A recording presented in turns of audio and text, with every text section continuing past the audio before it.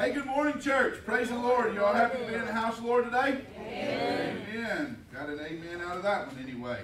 Uh, I shared with y'all when Angela and I went to Israel that that trip was a pastor familiarization trip. In other words, all of us as pastors and pastors' wives went over to the Holy Land uh, to become familiar with the terrain, with the territory, uh, to become familiar with the food, uh, to become familiar with the uh, amount of uh, athleticism required to be able to go on that trip and to go on that journey.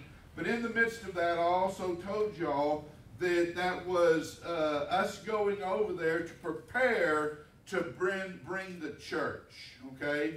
Uh, since we've come back, I shared with y'all that uh, I have two other brothers in Christ, Brother Sean Edwards and uh, Brother Brent Boatwright.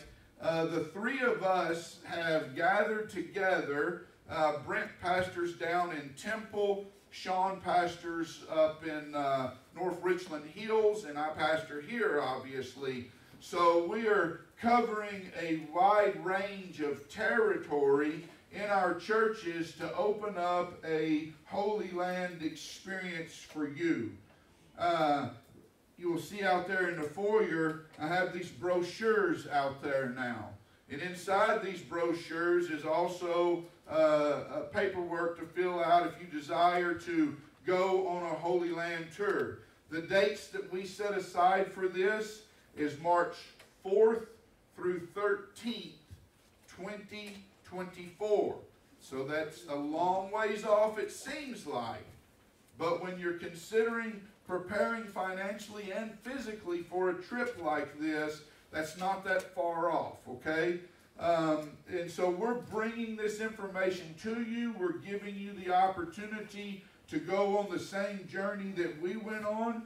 If you sign up early, there's a $150 discount off the price. If you sign up a little later than early, there's $100 off and it decreases down from there. Uh, ultimately, it's a trip of a lifetime, an experience of a lifetime, and just to kind of familiarize yourself with it again, John's going to play a quick video. It'll last about two and a half minutes.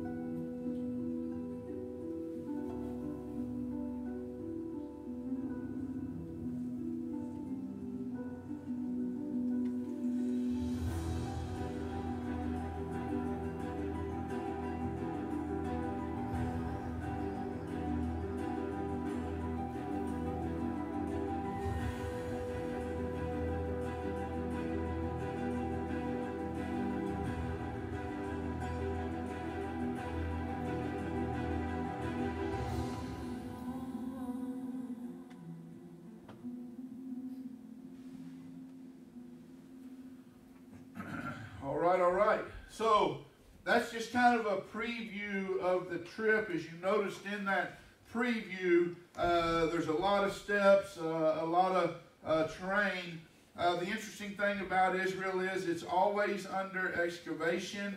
Uh, it's always they're always finding new things. As a matter of fact, while we were there, we went to three different sites on that trip where they were actively doing excavations and have had authenticated uh, the materials and stuff that they had found.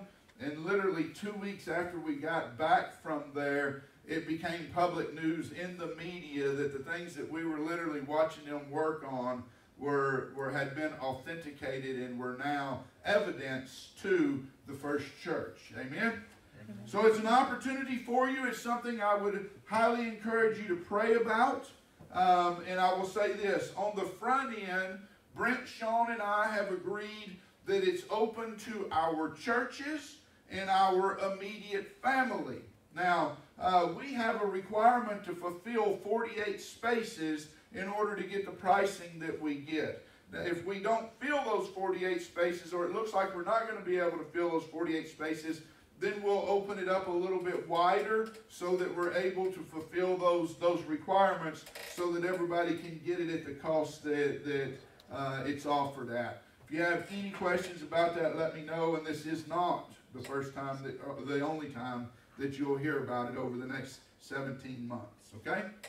All right, with that said, uh, we're going to enter into a new sermon series today we're going to enter into the Gospel of John. And I am incredibly excited to enter into this book. Today's sermon is going to be really not a sermon. Today's sermon is going to be just uh, information, providing a, a foundation for us to begin this sermon series on. It's just going to be an introductory lecture, basically, into uh, who John is, uh, the purpose of John's gospel and then ultimately uh, how we can apply that into our own lives. Uh, I was actually surprised that as much as we reference John, as much as we talk about John, as often as we evangelize people and and tell them uh, when we give them a Bible, go to the book of John, and even a lot of times we open it for them and put a, a bookmark in there so they know where the Gospel of John is to, to give them the opportunity to then read. Uh, the reason we do that is, is because John lays out uh, the most clearest of anybody, I believe, uh, just what it means to become a believer in Jesus Christ and then ultimately to continue to follow in Christ. So I'm incredibly excited about it. I pray that you will be too. Uh, we're going to take this uh, book and we're going to go all the way through it like we did the book of Acts. Uh, of course, there's going to be some interruptions along the way. We'll, we'll have several different pauses for uh, different events and stuff like that. But uh, suffice it to say, we will get through this book at some time. Okay? Uh, there's not a deadline on when we get done. With that said, uh, today we're going to be reading out of John chapter 20. We're going to be looking at verses 30 and 31, and that's going to set us up uh, for, for what we're going to look at today. So if you don't mind, stand in honor of God's Word.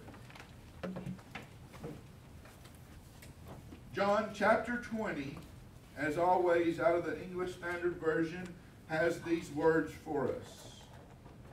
Now, Jesus did many other signs in the presence of the disciples, which are not written in this book. Verse 31. But these are written so that you may believe that Jesus is the Christ, excuse me, the Son of God, and that by believing you may have life in his name. Our Heavenly Father God, I praise your holy name. I thank you for the church that's gathered as this campus today, and I thank you that uh, together we can indulge ourselves in your word. Father, I pray that you stand me behind the cross, uh, that your will would be done here in the presence of, of all of us, Lord, and I pray for those that do not know Jesus as their Lord and Savior, that today would be the last day of their life that they ever live without Jesus. Father, I thank you and I give you the glory for all things, and I ask this in the name of Jesus, by the power of the Spirit, we pray. And all God's people said, Amen. Amen. Amen. So, when we think about the Bible, we think about the Bible and we think about all of the different books of the Bible, and everybody generally has a favorite scripture or a favorite text or, you know, a favorite book, maybe even a favorite character uh, out of the Bible. All of us have something in the Bible that's just our kind of our our little golden nugget that we really cling to. Uh, and, and, and interestingly enough, with that said, when I was researching all of my sermons that I've preached over the years and all the different places that I've preached, I have literally only preached five sermons out of the book of John uh, the entire time that I've been preaching. Only five sermons. And that blew me away because it seemed like I had preached a whole series out of this book somewhere or taught a whole series out of this book somewhere. And so I'm going through flash drives after flash drive trying to find where all these sermons are, where all these Bible studies are, only to find out that they don't exist. And so then I started thinking, how did I come to the conclusion that I had preached out of this book? The only answer that I could come up with is I must have dreamed it. And, and, and, and, it must have been Jesus letting me know you haven't done this yet, so now we're going to do this. Uh, but anyway, John is a beautiful, beautiful book. So we're going to look at a few different points here. The first point is this who is John? John is an apostle of Jesus Christ. Uh, John sits in the back corner of the room, but that's not the apostle Jesus Christ. Uh, but John is apostle of Jesus Christ. Uh, he's a disciple of Jesus.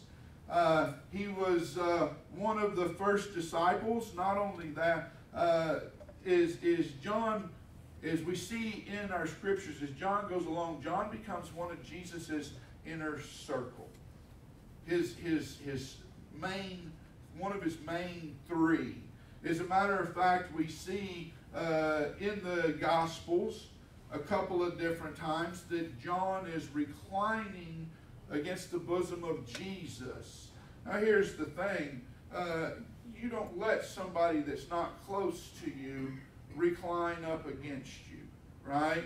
Uh, only people that are close to you, only people that you have a strong connection with, do you let them recline against you. And so uh, John was a, a very good friend of Jesus, and Jesus a, a very good friend of John. And, and so they so they, they they they did ministry together. But with that said, I'm going to ask you, has anybody seen that new movie Maverick Top Gun. Okay, good. A few of you have. For the rest of you, it's going to be a spoiler. Okay. Uh, in the movie Top Gun, uh, Maverick Top Gun, uh, Tom Cruise, who is the main character in the movie, well, his helmet on his on his flight helmet says Maverick, hence the word Maverick Top Gun. Okay, but it fits him well in the movie in the movie because he's always going against the grain of, of what everybody wants. So much so that he's called back to the Top Gun uh, school to, to train some pilots. They feel like he's the only one that has the ability to train these pilots. And he gets there, and, and ultimately some things happen, and, and uh, another commander comes in to train him, and he's kind of kicked out, basically. But here's the funny thing. Tom Cruise, being an independently minded person, a maverick, right? He goes and commandeers a, a, a fighter jet and takes off and begins to uh, prove that this mission can be done in the time that it needs to be done in. That's how you know it's a movie because you ain't going and stealing a jet. Okay? that ain't to happen. I don't care who you are. Okay? But anyway, all of the students are in this flight classroom. And the, the new commander is there and comes on the radio that he's commandeered this plane basically and he's going to fly this, this practice mission to prove that it could be done. And so he goes and he flies this mission and proves that not only can it be done, but that it can be done 45 seconds faster than what they were trying to train the pilots to do it by. Okay? Uh, so, so why did I share that with you? Well, because John, I believe, kind of fits into the maverick thought process. Why do I say that? Well, the definition of maverick is independently minded. Independently minded. If you look at the Gospels, Matthew, Mark, Luke, and John, the first four books in your New Testament, if you look at those Gospels, the first three books, Matthew, Mark, and Luke, are all three similar. As a matter of fact, they're called the Synoptic Gospels. Synoptic meaning similar. As a matter of fact, if you study them very closely, you'll see that roughly about 87 to 90 percent of the Gospels is repeated in those three Matthew, Mark, and Luke. So they're similar. Now, granted, each one of those authors were inspired by God. The Word was inspired by God. The, the, the Word was. Uh, was uh, had all the authority and power of God before they ever even penned it. Um, but each one of them was writing to a different audience. John, the maverick John, is just the opposite. Where up to 90% of the synoptics is similar, in John's gospel, 90% of his is different than the other three gospels, which is which is very uh, uh, independently minded thinking. God, in other words, desired to speak through John in such a way that he would shed light more on, on Jesus and the deity and the, and the life saving of Jesus and eternal life than anything else. Now, does that mean that the other Gospels don't do that? No, it doesn't. They do. John just brings it to us in a different direction, from a different vantage point. So, John, again, who was he? Well, he was most certainly a Jew. Don't get shocked. Jesus was a Jew, right? Uh, so, so that shouldn't shock you. If it does, well, let's need, we need to study some church history, and we'll get you up to speed on that. Okay. Uh, but anyway, John was a, a, a Jewish man, and and ultimately he followed in the footsteps. He was called by Jesus, followed in the footsteps of Jesus. Uh, he was a disciple of Jesus. What is a disciple? A disciple is someone that is a, a student, for lack of better words, of a teacher. Okay? We say here at Virginia Hill Baptist Church, our mission uh, is to make disciples that make disciples. In other words, it's more than just living life with one another. As awesome as that is, and that is part of it, but it's more than that.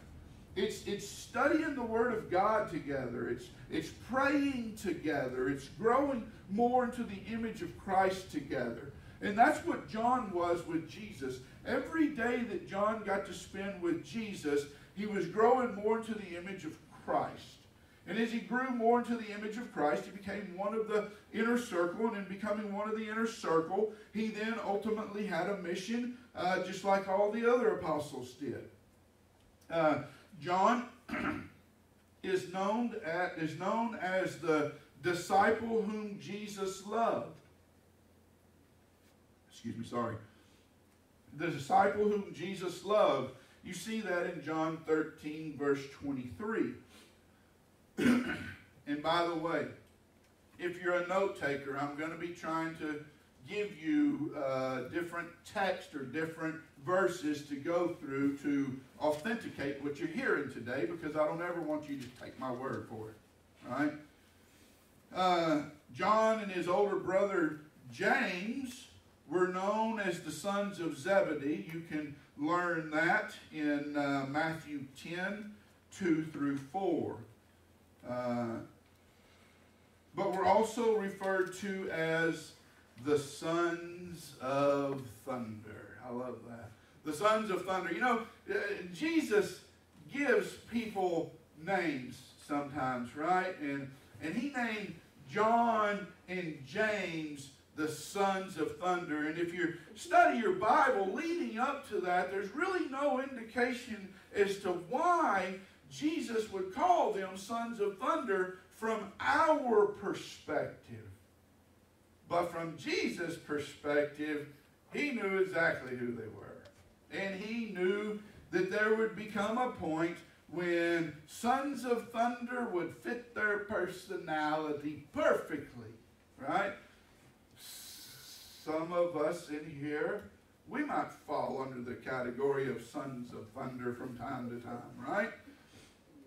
Um, you don't have to agree, I know. Uh, but but uh, as we think about that, and as, is, is, as we think about John's gospel, John's gospel is filled with love and compassion to the point when you read the book of John, it, it's almost as if you could see John weeping as he was writing because of the desire to see people come to know Jesus as Lord and Savior. I think that's a, a beautiful, beautiful thing. Uh, and it's, a, it's obviously a transformation that can only be done by God. I mentioned if you were here for Sunday school earlier, uh, Angela can testify as we've just celebrated uh, our anniversary. Angela can testify that, that who I am in Christ today looks radically different than who I was in Christ 19 years, years ago, almost 20 years ago that we've known each other. Um, and she can testify to that. John here, as he lived with Jesus day after day after day, walked with Jesus day after day after day, his heart was transformed. And in that transforming of his heart, he became more of the image of Christ. So we know that in uh, Mark 3:17, uh, Jesus gives John and James uh, the name sons of thunder, but why? Why? Well, if you turn over to the Gospel of Luke and you look in Luke chapter 9, there's a little paragraph in there. And in that little paragraph in there, uh, the, the idea of sons of thunder becomes rushing forward. You see, Jesus had sent some people ahead as he was on his way to Jerusalem, had sent some people ahead uh, to, to, to, to prepare a place for them. And, and so, so is, is they enter into Samaria, the people of Samaria rejected Jesus because of where he was journeying to. They didn't want to have anything to do with him. They was turning away from him. They weren't allowing uh, them to, to find uh, a place to stay and a place to, to hang out there. And, and then we see this. James and John say, Do you want us to call thunder down upon them? In other words, hey, they ain't going to take care of you. Let us go ahead and bring thunder down on them.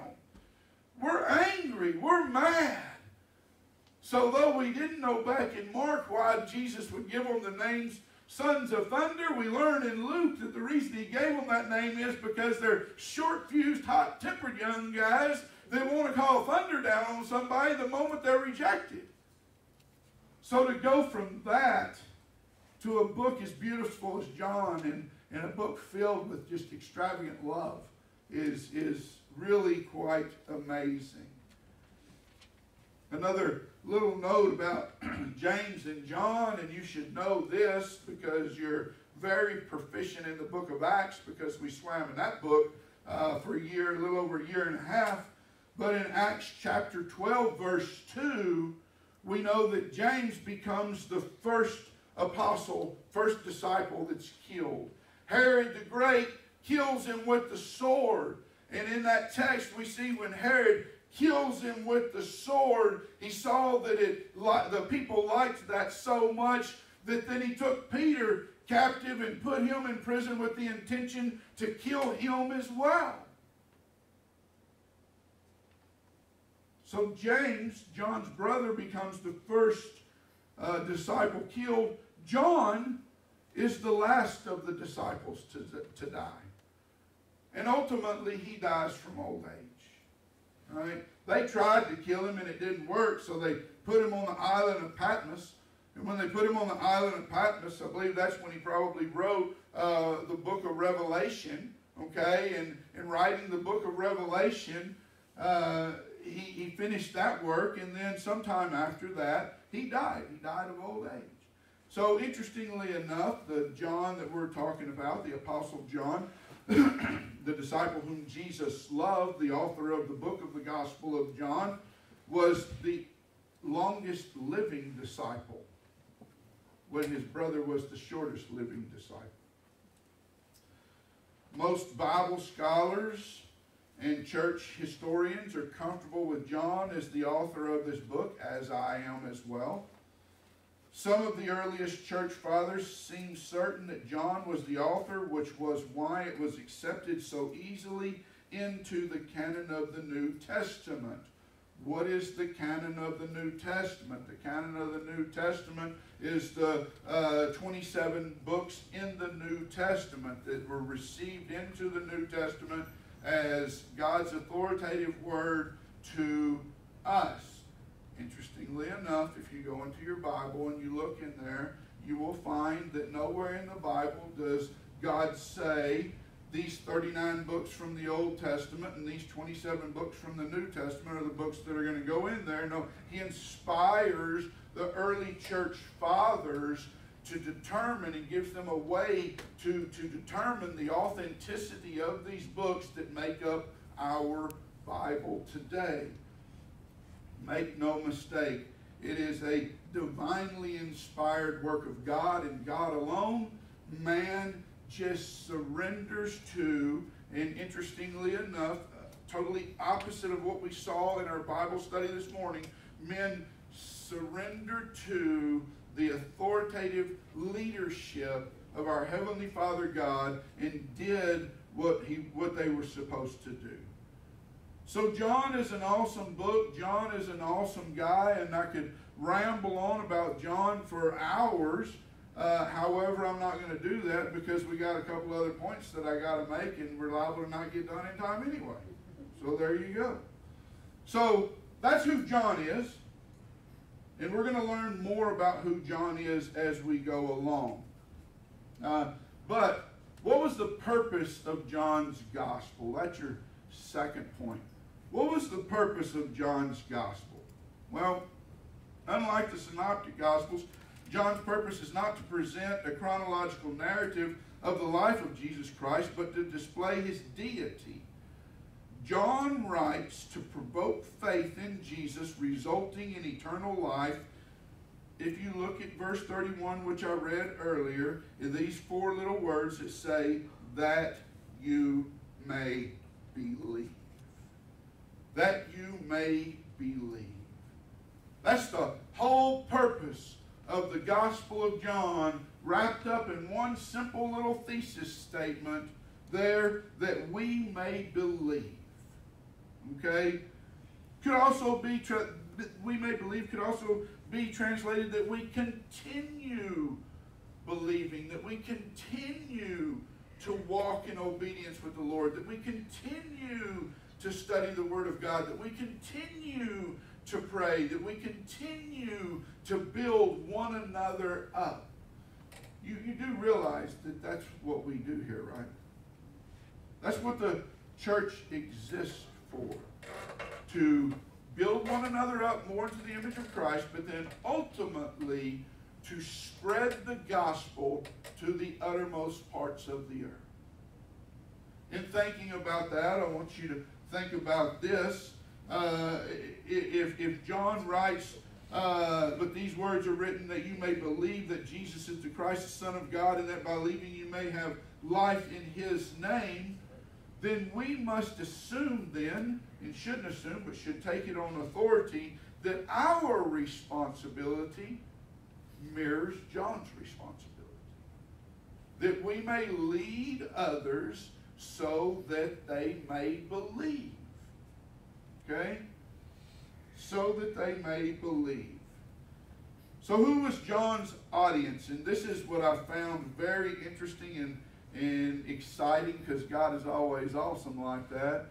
If you were here for the Sunday school class this morning, you got a Sunday school book. If you weren't here and didn't get one and you want one, you're welcome to one. I got one for everybody. But in the front of that book is, is what we call hermeneutics, right? And it lays out how you look at a text, how you study a text, how you take apart a text. And one of the things that we do in that is, is we want to look at who was the original audience that, that, that, that John would have been writing this letter to. Who were those people? And in John's time, there was two primary audiences that he was writing to. He was writing to the false teachers that were beginning to come up in the church, people that weren't teaching that Jesus was the Messiah, people that weren't leading people according to the way of the Lord, people that were distracting or, or, or, or for lack of better words, changing the gospel to fit their own agenda instead of uh, continuing to proclaim the gospel of Jesus Christ that provides for us the ability to seek and save or be the vessels that he uses to seek and save the lost but then secondly, he was he was proclaiming this gospel and his audience was unbelieving Jews. Unbelieving Jews. And so I want you to think about that. You know, uh, as mentioned several times, and probably will be several more times, when Angela and I was in Jerusalem, and we were in that city and in that community, there is an abundance of Jewish people there. And here's the interesting thing about that there is literally a small uh, portion of Jewish people that are Messianic Jews. They're Jews that believe in Jesus Christ. But the vast majority of them do not. They reject the gospel. They reject that Jesus is the Messiah. They're still waiting for the first advent of Jesus, uh, the first uh, uh, uh, uh, Savior, this kingship, lordship, I don't know, mighty warrior that they're looking for, they're still waiting for him to arrive. And so they only generally take the first five books of the Bible as authoritative teaching. There's a problem there. And the problem is, is that in the Holy Land, the place that Jesus is chosen, the people that Jesus originally, or that God originally chose, they're on the fast track to the highway of hell. So let me say this evangelism doesn't stop at the borders of Texas, it doesn't stop at the borders of the seas that surround the United States of America. No. The gospel goes to the other most parts of the earth. So here's the deal. You could literally then I saw this happening while I was there, literally be standing at the wailing wall and share the gospel with a multitude of non believers who are, by all rights, very, very religious people.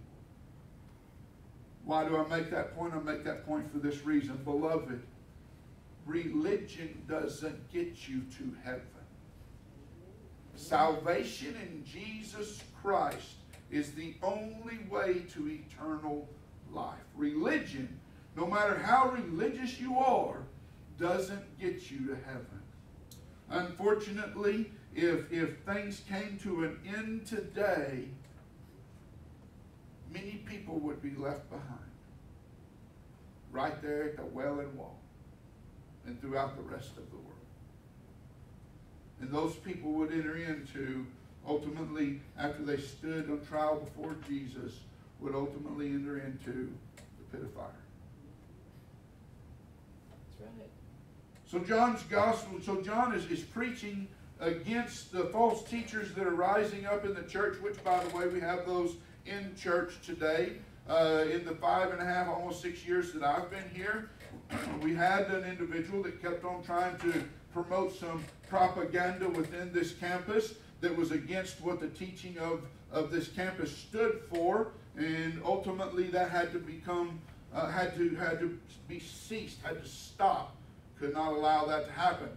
Hence, everything that we teach here and everything that we do here goes through that office, and we verify whether or not this is accurate, whether or not it is viable, before we ever present it to you to be taught or to be studied. Therefore, if you're in a Sunday school class or a Bible study class or, or a discipleship class or anything like that, it doesn't matter whether it's me teaching or it's John teaching. I can guarantee you that it comes with authority from God, not from us. And we're teaching you that because we want you to know the truth. So, that's the purpose of John's gospel. So, John's gospel then is broken up into four different parts. There is the epilogue, that's the beginning. It's John 1 1 through John. John 1 1 through 1 uh, through 18. John 1 verse 1 through verse 18. That's the prologue. And then the, the, the, the, the center of the book, uh, the main body of the book is broken up into two parts from John 1 19 to John 12 50 is what's known as the signs. We see a lot of signs that Jesus does in that section of the book. And then from uh, John 13 1 through the end or through John 20 31, which is the verse that we read today, is what's known as the book of glory, book of salvation. This is where we see Jesus and in his in all of his glory. And then the uh, and then chapter 21 is the conclusion. It's the epilogue. Interestingly enough, when I was in school, John was in school, many of y'all been in school and you had to write papers, you had to give your thesis statement, right? And, and, and that thesis statement came in the first paragraph of your paper. There's a general rule at our school, it had to be in the first pa- uh, paragraph, okay? And, and your thesis statement was what the rest of your paper was built on. That was what either you were arguing for or arguing against through the rest of the paper. And then at the conclusion of your paper, you would basically circle it back to your thesis statement and finish your paper with a, with a, a, a, a sense of that statement. John, interestingly enough, gives us 20 chapters and 30 verses before he gives us his thesis statement. And his thesis statement is what I read to you earlier, just for uh, reader's sake. I'm going to read it again. But these are written so that you may believe that Jesus is the Christ, the Son of God, and that by believing you may have life in his name. Considering all of that, John is the only one of the Gospels that contains a precise thesis statement. But not only that, John's gospel is, is, is a great apologetic word of God as well as a great evangelistic word of God. I would step out in faith and say this. If you memorized the book of John, kind of like I had y'all memorize the Sermon on the Mount, so I know all of you can recite that now.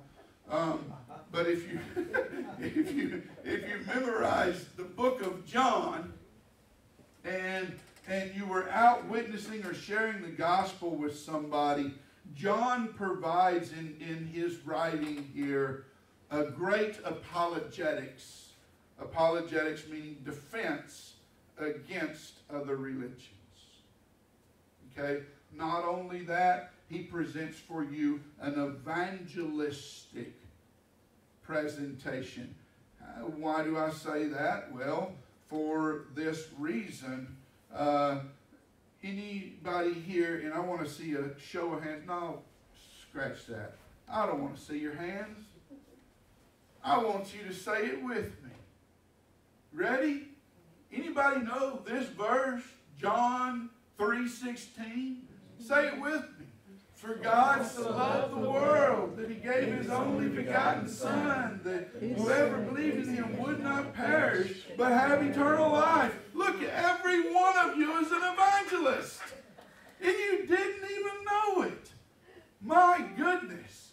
John's book is as much apologetic as it is evangelistic. Okay? And, and, and, and we need to take these things into consideration when we're studying a book. That's why we want to do the hermeneutics in it. That's why we want, we want to know who the uh, original audience was. We want to know how it applies to us today. We want to be able to cross that bridge in time from 2,000 years ago to now and say this applies to us today just as much as it did the day John penned it. That's what the Word of God is all about. So, considering all of that, John presents Jesus in his true identity. He presents him as incarnate. What does that mean? That means in flesh. The word incarnate means in fleshly form.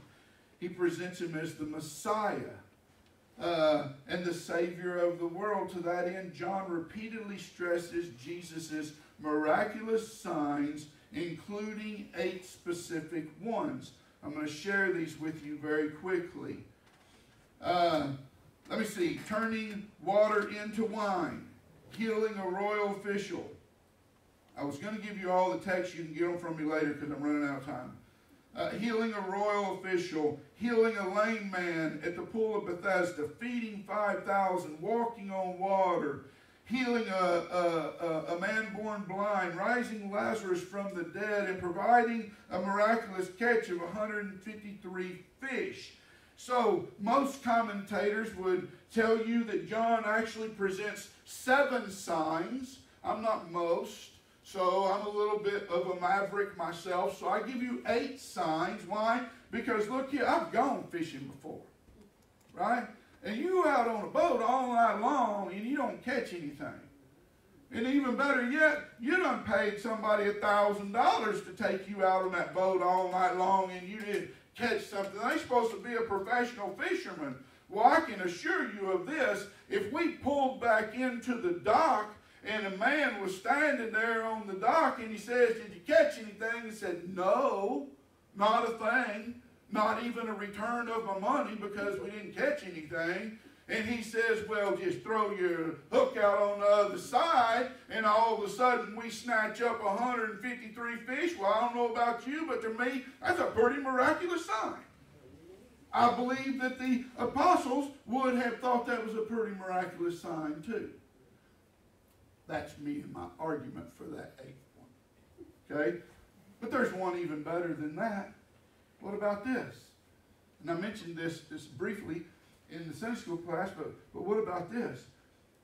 The most authentic sign that anybody in the world, on the planet that's ever lived or ever will live, has is this, and I have seen it myself.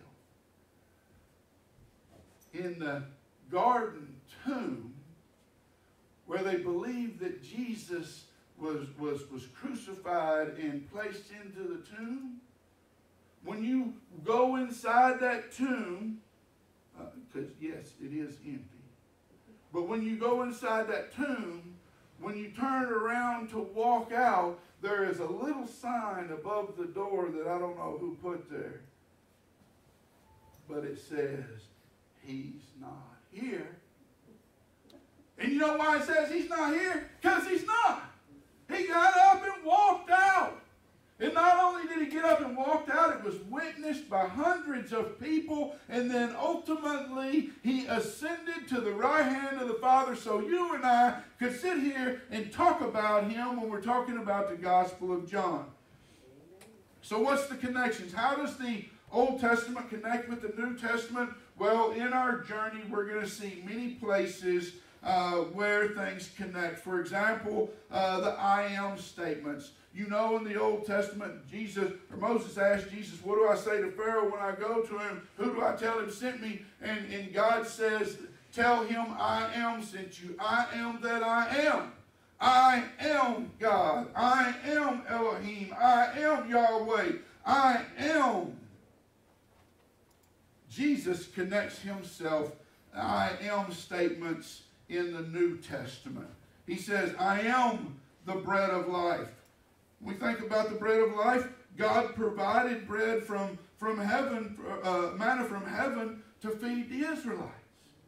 Right? When we think about Jesus saying, I am the light of the world, the same light God promised to his people in the Old Testament in the book of Isaiah. Right? Jesus says, I am. Over and over again, he says, I am the good shepherd, I am the door of the sheep. But these three you know better than any. He says, I am the resurrection and the life. He says, I am the way, the truth, and the life. And he says, I am the true vine, and you and I were the branches. Jesus is God incarnate, God in flesh, and John, John presents him that away to us. So your third point then is this practical application. How do we apply that into our life today? well, I'm glad you asked that question. Glad you asked that question.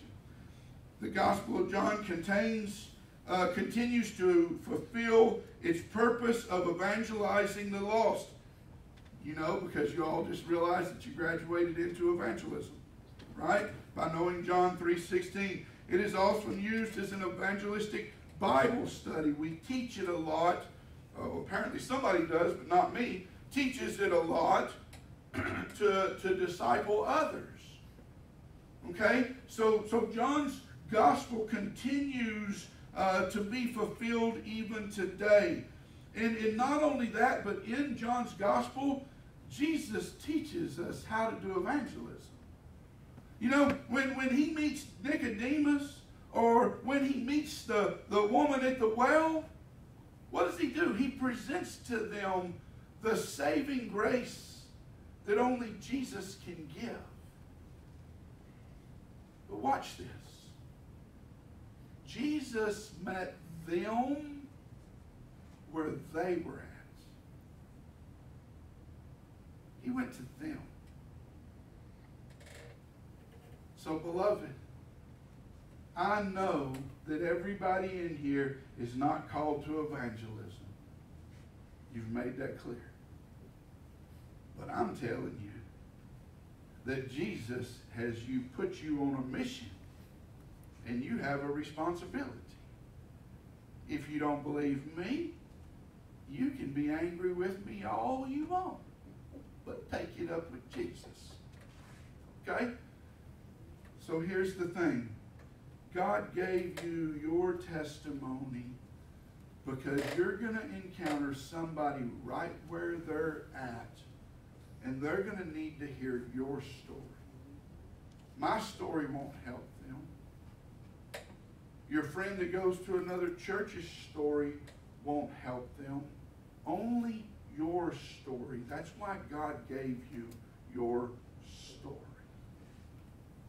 So don't muzzle what God has graciously given you to do, and that is to share the love of Jesus Christ. God is a hundred, or Jesus is, and John presents this to us. Jesus is a hundred percent man, and he is a hundred percent God. Let me illustrate this to you real quick. My name in case you don't know it, is James Clayton Cox. I was born April 23rd, 1965, All Saints Hospital in Fort Worth, Texas. I am as Texan as Texan gets. My dad was a military officer and I traveled all around the world. I turned 18 years old and I made a beeline back to Texas as fast as I could get here and I ain't left since. Okay? So I am a 100% Texas, but Texan, but let me tell you this. I live in the United States of America. So at the exact same time that I'm a 100% Texan, I am a 100% authentic, born and bred American citizen. So I am not 100 plus 100 makes 200. No, I'm 100 plus 100 that makes 100. I am an American Texan. Jesus is 100% God, 100% man as he's presented in John's gospel, and that does not add up to 200 something of something. It adds up to salvation in Jesus Christ, the only person that could ever say that he is both man and God who came to save you and I. Amen? Amen. Amen. So, beloved, look here. We're going to take this journey through John, and it's a beautiful book. I would encourage you to begin to read it now. And, and as you read it now uh, and start to study it now, maybe that prompts up within you some questions that you want to ask. And as you ask them questions, uh, then we're going to be able to sharpen one another, build one another up more into the image of Christ.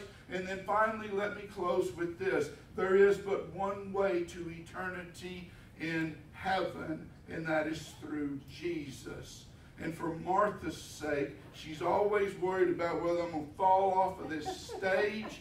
And apparently, when I was practicing my sermon delivery this week, I must have said something that upset Jesus because I flung off of this stage. Now I got carpet burns on my knees because of it. Hey, all kidding aside, praise God for today. Amen? Amen. Amen. Let's pray. Father in heaven, we do thank you for the wonderful book that you have given us. Father, we thank you for your wonderful word and how it transforms our life. May your will be done through us in all that we do, Father.